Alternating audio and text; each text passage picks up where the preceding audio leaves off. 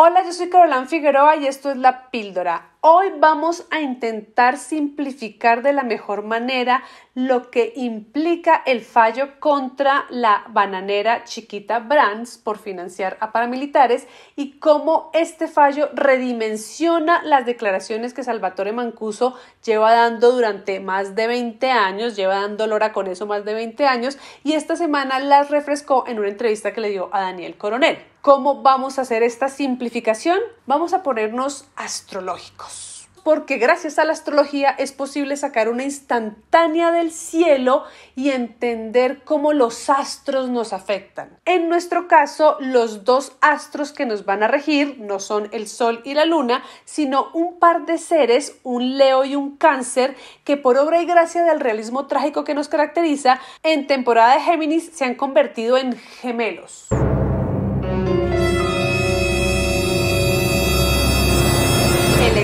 Paramilitar Salvatore Mancuso y el expresidente, ahora señor imputado, Álvaro Uribe Vélez. Cara y contracara de una misma moneda que en estas dos últimas semanas están girando a lo que da y que nos tienen pendientes de ver si esto cae en cara o cae en sello. Señor Mancuso, ¿usted se ha reunido con el doctor Álvaro Uribe Vélez? Por supuesto, me he reunido con él. Me he reunido en diferentes oportunidades, en el UR en una, acompañado del coronel Raúl Suárez, en unas carreras de caballo por allá, en la pista de aviación de Verástegui, en Córdoba, y en algunos otros establecimientos comerciales o lugares nos hemos encontrado. De hecho, teníamos una reunión cuando él estaba en campaña en Tierra Alta, a la que él no pudo ingresar porque tenía demasiados carros que lo iban siguiendo y no pudo ingresar a reunirse conmigo. ¿Ha dispuesto a aceptar una discusión cara a cara con el señor expresidente Álvaro Uribe si él lo... Eh, Yo no tengo ningún inconveniente en esto. Yo creo que lo importante es no politizar estos temas. Este bandido de Salvatore Mancuso ahora cambia de versiones sobre el aro para justificar el beneficio de la creación dolosa de la teoría bisagra de la JEP-FARC. Lo agregaré a las denuncias en Estados Unidos y ante la Fiscalía de Colombia. Hasta ahí el primer trino. Esas son las maneras en las que las personas tratan de evitar que la justicia llegue a donde ellos. Son personas que muestran una enorme valentía para algunos temas, pero para otros eh, el temor a ser juzgados y a ser eh, públicamente lapidados por sus acciones del pasado, los lleva a, tratar de defenderse aún arguyendo situaciones que no son ciertas. Yo sé que muchos de ustedes deben pensar que Uribe en la carta astral colombiana viene a ser más un Mercurio retrógrado o que viene a ser más un cáncer. De hecho, el personaje es cáncer de verdad. Pero en las últimas dos semanas, un trígono de tierras de plantaciones de banano, más específicamente, y de tierras usurpadas, está haciendo que este cáncer transite de vuelta a un lugar del que él se la pasa renegando, pero que no hace nada efectivo para salir de ahí, y es esa cuna paramilitar que lo vio nacer y que comparte con su socio de guerra, el ex paramilitar Salvatore Mancuso. Es un fenómeno que desde 1997 no se revelaba con tanta claridad. Así que ahora que lo tenemos tan palpable, hay que aprovechar para tatuárnoslo en la piel porque es que nos explica demasiadas cosas de lo que somos hoy en día y de lo que podría ser nuestro futuro más próximo. Próximo, digamos, dos años. Di tú 2026.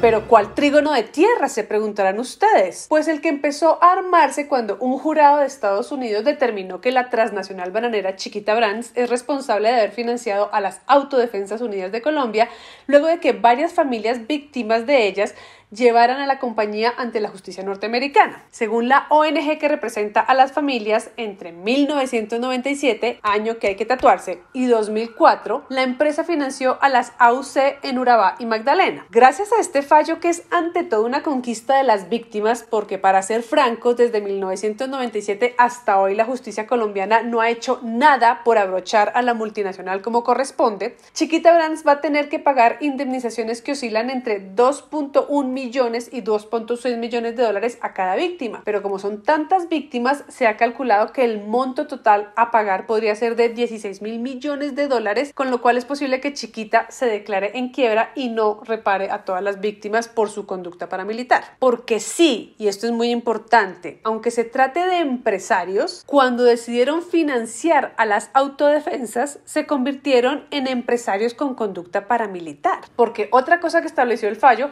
es que ellos no estuvieron pagando ese dinero porque estuvieran amenazados, sino porque estaban financiando a los paramilitares plenamente conscientes de que de esta manera estaban apoyando torturas, asesinatos, secuestros, masacres y desplazamientos de población civil campesina en su mayoría.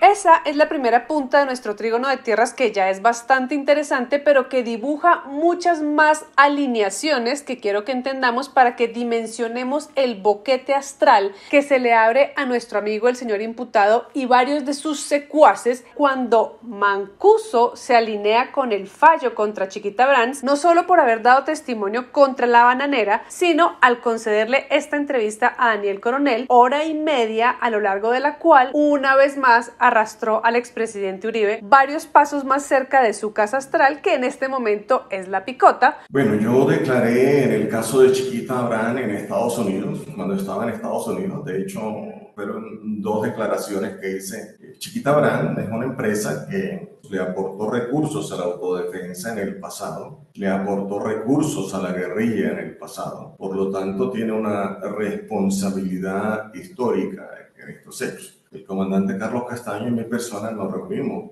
con algunos directivos de esta empresa para pactar y organizar que nos entregaran 3 centavos de dólar por caja de banano exportada. Eso realmente sucedió con Chiquita. Y aquí es donde Álvaro Uribe Vélez empieza a revelarnos a través de Salvatore Mancuso su espíritu un poco retrógrado. Él insiste en no voltear a ver todo lo que se está moviendo en el cielo en este momento, así como durante la masacre del Aro insistió en negar lo que había en el cielo. Yo entiendo que la masacre fue especialmente cruel, que, que, fueron personas torturadas delante de su familia y asesinadas, que todo eso pasó particularmente en lo personal.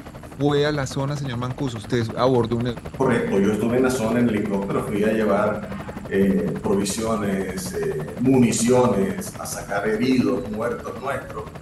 Eh, fue una operación bastante dura y estuve en el área, ingresé en helicóptero. ¿De quién era ese helicóptero, señor Mancuso? de las autodefensas de nosotros en ese momento. ¿Hubo más helicópteros involucrados en esa, en, en esa masacre del Aro?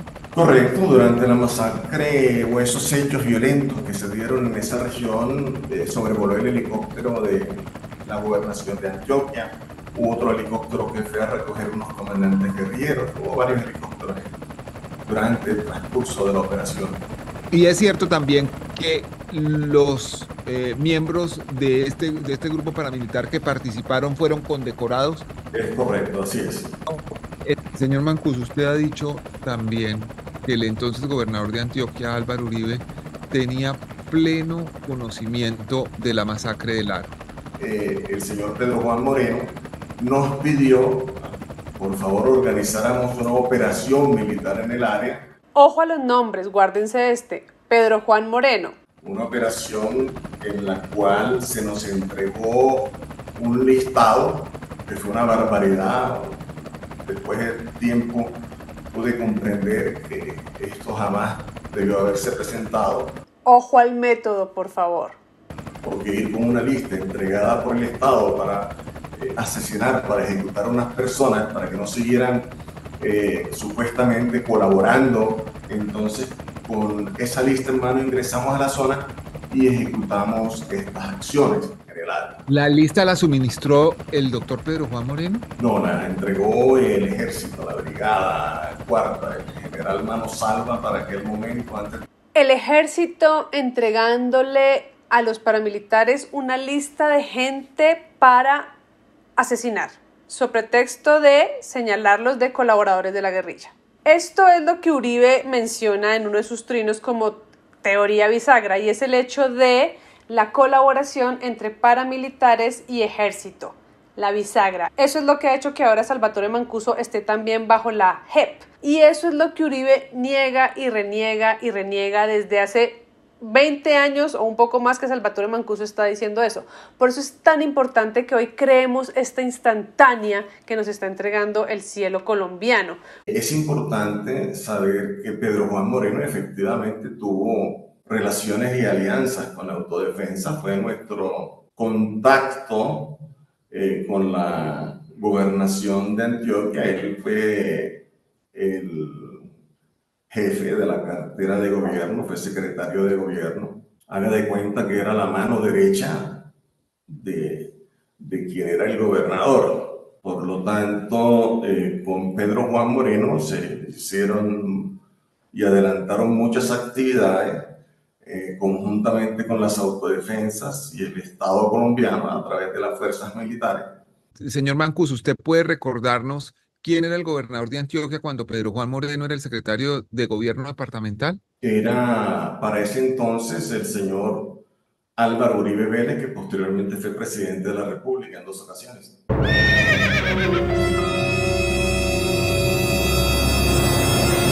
Entonces, ¿por qué hablo de un trígono de tierra como si fuera la gran novedad si Mancuso al parecer dijo en esa entrevista lo mismo que lleva mil años diciendo? Pues porque gracias a la alineación con el fallo en contra de Chiquita Brands, algunas de las cosas que él ya había dicho ahora se renuevan y se resignifican. Usted ha dicho, señor Mancuso, que desde Ecopetrol fueron también financiados los paramilitares. ¿A qué nivel de Ecopetrol se tomó la decisión en esa época de respaldar el paramilitarismo? Bueno, efectivamente, Ecopetrol eh, permitió nuestra financiación a través eh, de la extracción de hidrocarburos del poliducto. Se notaban y nos entregaban los horarios en los cuales se transportaba eh, ese hidrocarburo por por el poliducto. De nuevo, ojo al método, porque es que cuando uno escucha el método y entiende el método, dimensiona la cantidad de gente que está involucrada en cada cosa que hicieron los paramilitares. Y eh, tenían ellos unos sensores que les identificaban en las zonas donde se estaba extrayendo en ese momento del combustible, sabían que éramos nosotros, lo permitían, inclusive habían unas tinturas, por ejemplo, para tinturar la gasolina, para venderla de manera legal en las estaciones de servicio de combustible. Y eso lo utilizábamos para financiar las autodefensas. Ellos lo sabían. ¿Qué tan arriba? Estos fueron unas situaciones que se dieron y fueron patrones de macrocriminalidad que se utilizaron en los diferentes bloques de autodefensa en la manera como se... Anoten, además de Chiquita Brands, hay que meter en esa lista de empresarios a empresarios de Ecopetrol. ¿Por qué Chiquita Brands hace que uno piense mejor en Ecopetrol? Porque ya quedó demostrado que una empresa multinacional financió a gran escala a los paramilitares, lo cual hace ver el asunto como algo sistemático, no como algo ocasional, no como un ups, con lo cual esta afirmación de Mancuso de que empresarios de Ecopetrol también estuvieron vinculados con las autodefensas gana credibilidad a partir de lo de Chiquita Brands. ¿Qué otra cosa gana credibilidad o gana volumen, digamos? Desde que yo tengo conocimiento y mucho antes, desde la violencia bipartidista, empezó el desplazamiento, la expoliación y el despojo de tierras. Hubo acumulación de tierras en ese momento. Luego llegaron las guerrillas y cuando las guerrillas entraron a esos territorios, lo mismo. Empezó el despojo, la expoliación de la tierra y el desplazamiento de los agricultores, ganaderos, empresarios del campo. Llegaron las autodefensas. Sucedió lo mismo. Empezaron a enfrentarse con las guerrillas y se dio un gran desplazamiento, hubo expoliación, hubo despojo de aquellos que eran acusados de supuestamente pertenecer a las filas de la subversión de la guerrilla que combatíamos y eso se dio. Durante ese proceso es cierto que venía detrás un ejército de empresarios que venían comprando tierra a precio de gallina enferma. De, irrisorios. Aparece la segunda punta del trígono, la paraeconomía. Esa economía paramilitar nutrida particularmente de empresarios. Una ficha que siempre se nos queda por fuera del tablero cuando estamos hablando del rompecabezas del conflicto armado y que siempre nos deja un hueco, un faltante, una serie de cabos sueltos que gracias a la actual cuadratura empiezan a amarrarse. O dicho de otra manera, aparecieron las llaves. Porque es que siempre que hablamos del conflicto armado colombiano, hablamos de cómo se financiaba la guerrilla, pero nadie le mete muela a cómo se financiaban los paramilitares. Pero claro, como esto es Colombia, agarrar esas llaves no es tan fácil así estén ahí, en la mesa. En Colombia, la única persona condenada por la financiación de Chiquita Branza a los grupos paramilitares es un conductor. Les voy a contar esa historia porque es posible que en nuestro país las condenas contra los directivos de esa compañía nunca lleguen. Acá está el riesgo de prescribir un proceso contra empresarios bananeros entre los que se encuentran ex ejecutivos de Chiquita por financiación del paramilitarismo. Decenas de empresarios bananeros financiaron las convivir. Este año la Fiscalía a 14 empresarios bananeros que habían aportado 33 mil millones de pesos a los paramilitares. Pero fíjense en esto, los aportes tanto de Chiquita como de los otros empresarios bananeros habrían hecho hace casi 30 años. Es decir, las víctimas del paramilitarismo en Colombia han esperado décadas que se haga justicia y es probable que no la vean.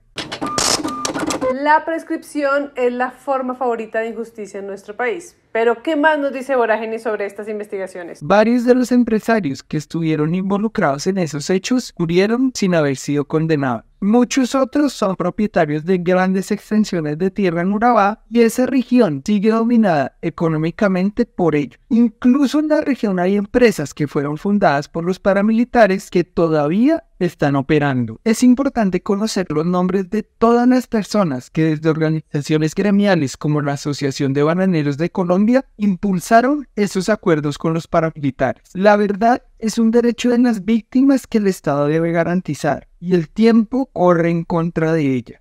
Es importante conocer los nombres de todos los empresarios vinculados con todo esto. Lo que nos pone sobre la mesa Chiquita Brands, de nuevo gente, es un boquete enorme. Y no solo es enorme por la cantidad de gente vinculada, sino por la cantidad de tiempo durante la cual se extiende esto.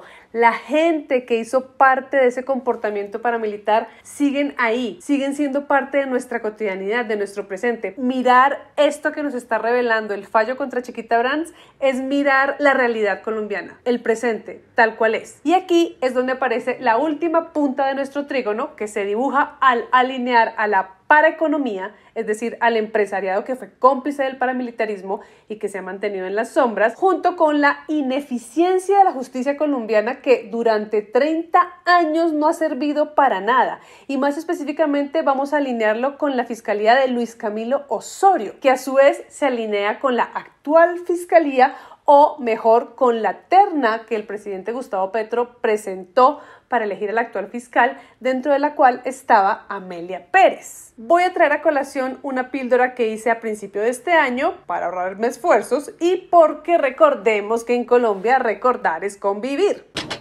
pues aquí se les tiene la postulada Amelia Pérez. Ella fue fiscal de derechos humanos encargada de las investigaciones sobre, ojo, las masacres de Laro y la masacre de Trujillo, así como de varias investigaciones que establecían el vínculo entre paramilitares, empresarios y fuerza pública. Hay que agregar además que su esposo es Gregorio Oviedo, fiscal que en 1997 fue nombrado como director del CTI en Medellín, cargo desde el cual llevó a cabo el caso del parqueadero Padilla, que no sé si ustedes lo conocen, pero que les resumiré diciendo que en el parqueadero Padilla se encontraron cantidades importantes de información sobre la relación económica entre paramilitares y empresas privadas desde 1995 hasta el primer semestre de 1998, así como información sobre los sueldos que recibían los paramilitares y otras ventas por medio de las cuales lavaban activos provenientes del narcotráfico.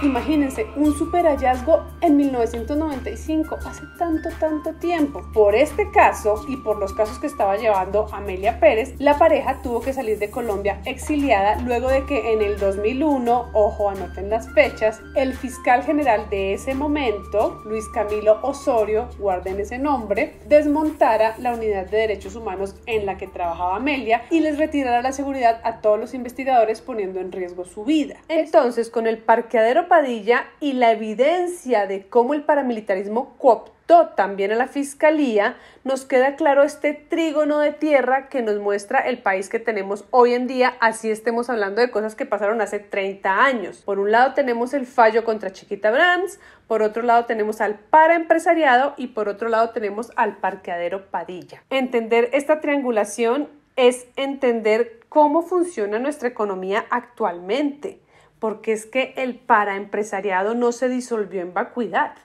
El paraempresariado no ha respondido, el paraempresariado no ha hablado, el paraempresariado no ha dado la cara y por supuesto no ha dejado de tener negocios. Entonces, nuestra economía está absolutamente permeada por esa forma de funcionar. Y ahí es donde es tan importante el parqueadero Padilla, porque toda la información que se encontró en el parqueadero sigue siendo útil para la actualidad. Y adicionalmente, esa investigación del parqueadero Padilla, así como la investigación del aro, son dos fantasmas que van a perseguir a Álvaro Uribe Vélez hasta que se decida a girarse y abrazar su pasado para poder dejar de retrogradar y ayudar a que Colombia deje de retrogradar definitivamente. Porque es que tenemos muchas purgas pendientes purgas que se filtraron en todos lados. Para la muestra, un último botón de la entrevista que habla de un método de control de la corrupción por parte de los paramilitares que me pareció muy interesante. Ojo con el método paramilitar, es que el método lo dice todo porque son métodos que no desaparecen. Si no se purga todo eso, los métodos continúan. Ojo. Es que el Estado nunca ha solucionado estos temas de corrupción, de manejos ilegales. ¿Y qué sucedió? En la medida en que cuando las autodefensas estuvimos vigentes, creamos una cosa que se llamaba Clamor Campesino Caribe, era, era para controlar la corrupción. Clamor Campesino Caribe, es que desde los nombres ya me va dando una embolia, pero escuchemos en qué consistía el Clamor Campesino Caribe. Sucede que eh, la primera acción de Clamor Campesino Caribe fue dar de baja, asesinar el alcalde de Valencia, después otro alcalde de Tierra Alta y una multiplicidad de hechos violentos que nos llevó a la conclusión que si continuaba de esa manera, había que dar de baja casi a todas las personas que estaban en cargos y puestos públicos. Los paramilitares asesinaban a los funcionarios públicos corruptos. Esa era la manera de controlar la corrupción. Y dejaron de hacerlo porque se dieron cuenta que no iban a poder parar. Así que lo que entramos fue entonces a controlar la corrupción que había en el país que no se robaran el 40, el 50%, el 100% de los dineros de la contratación, sino que aportaran el 10% de la contratación a las autodefensas y el 10% a las administraciones municipales. De esa manera empezó a controlarse porque antes se robaban todo. O sea, no se roben todo, pero dennos un pedacito a nosotros, como si financiar los paramilitares no fuera una suerte de robo. O sea, ustedes entienden cómo funcionaron las regiones, los cargos públicos mientras los paramilitares estaban a cargo de las zonas en las que el Estado no se ha hecho cargo? ¿Ustedes creen que todo eso desapareció de las regiones solo porque los paramilitares se desmovilizaron? Por un lado, el que diga que va a acabar con la corrupción miente simple y llanamente. Esto anótenlo para el 2026. Ahora, el que diga que va a renegociar los términos de la corrupción en cada región del país, sin matar al corrupto de turno, por supuesto, se acerca un poco más a una posibilidad un poco más real. Pero eso no se ve nada bien. Qué instantánea de país la que nos entrega el trígono de tierras, tierras bananeras. ¿No les parece? ¿No les parece tremenda instantánea?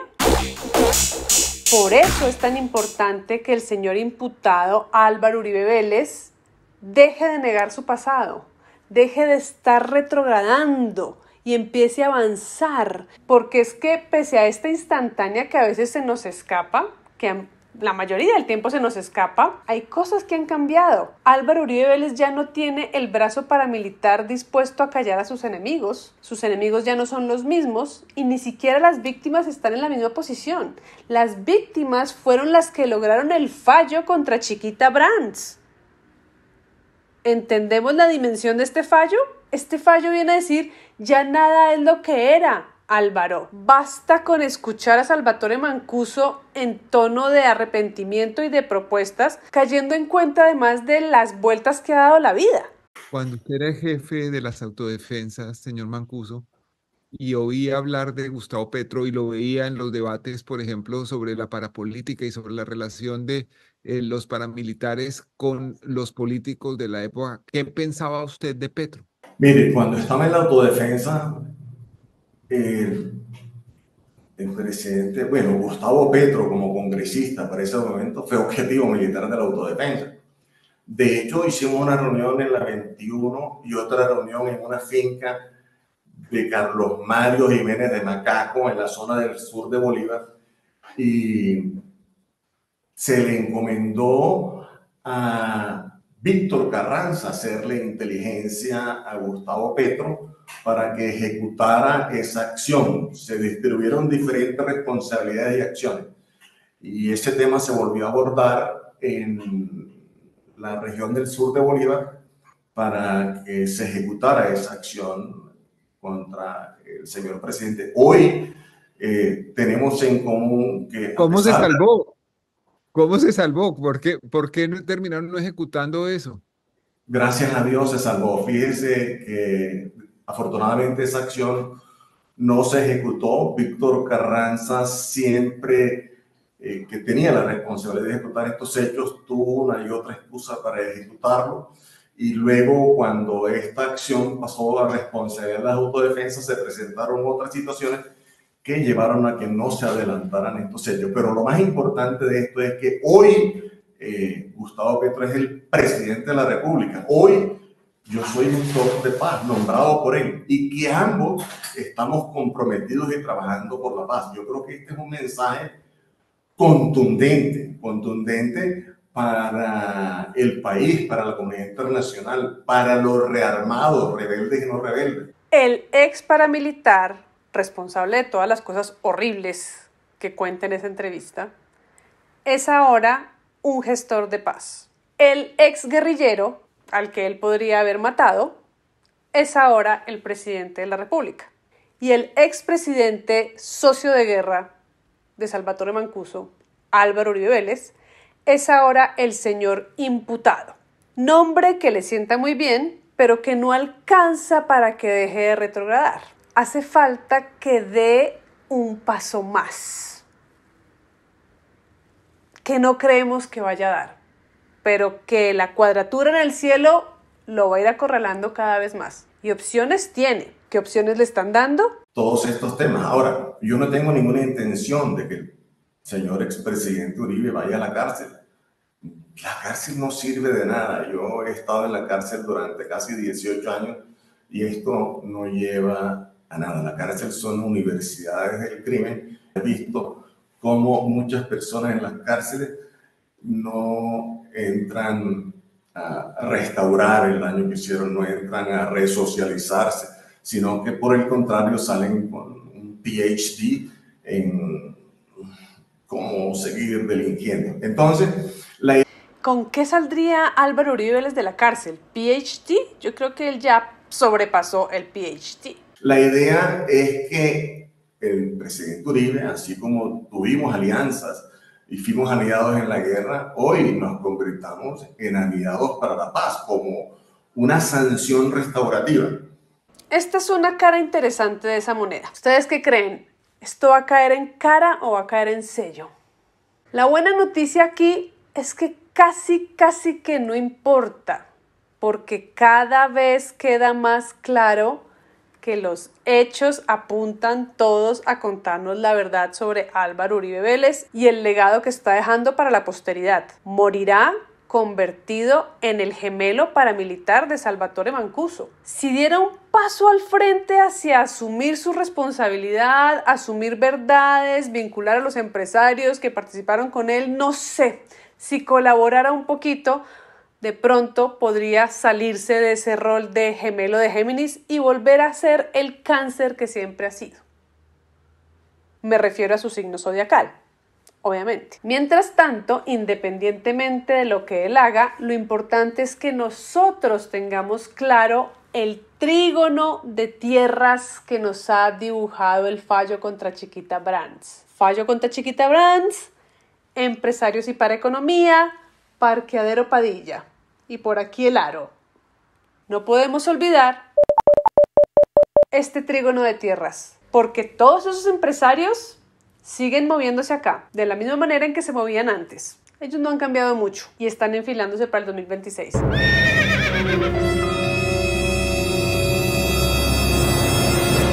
Nosotros tenemos la responsabilidad de tener clara esta instantánea de este momento y usarla como información para lo que se venga en el 2026. A ver si nosotros dejamos de retrogradar.